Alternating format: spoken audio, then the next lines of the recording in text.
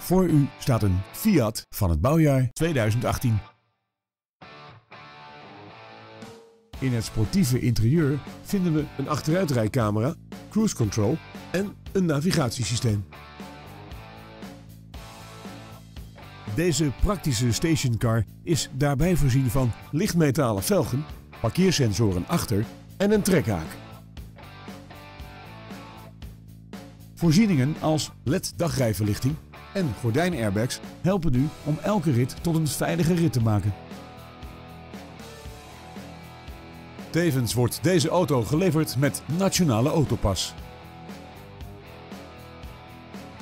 Als u wilt, kunt u een proefrit maken met deze Fiat. Bel ons nu voor een afspraak.